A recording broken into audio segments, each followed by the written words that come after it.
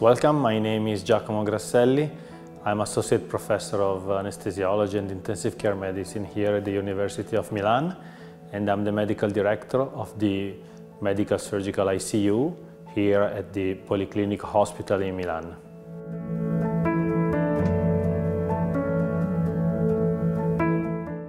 It's important because um, our knowledge on the pathophysiology of ARDS and acute respiratory failure is continuously evolving and during the years we have realized that setting of controlled and assisted mechanical ventilation is crucial not only to grant viable gas exchange but also to improve lung function and most importantly we just we realized that inappropriate setting of mechanical ventilation can significantly contribute to worsening of lung inflammation. This is the so-called ventilator-induced lung injury. So it's very important to know how to set mechanical ventilation, especially in ARDS patients, to avoid ventilator-induced lung injury.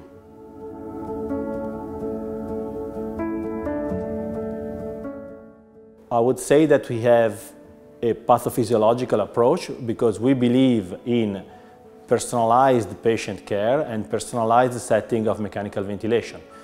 So I would say that uh, one size does not fit all. So what we do in practice is that we measure, we try to understand the, the, the, mechanical characteristics of the respiratory system. We try to understand and to disclose the relationship between mechanical ventilation hemodynamics of the patient and then we try to select the appropriate settings of mechanical ventilation for that particular patient.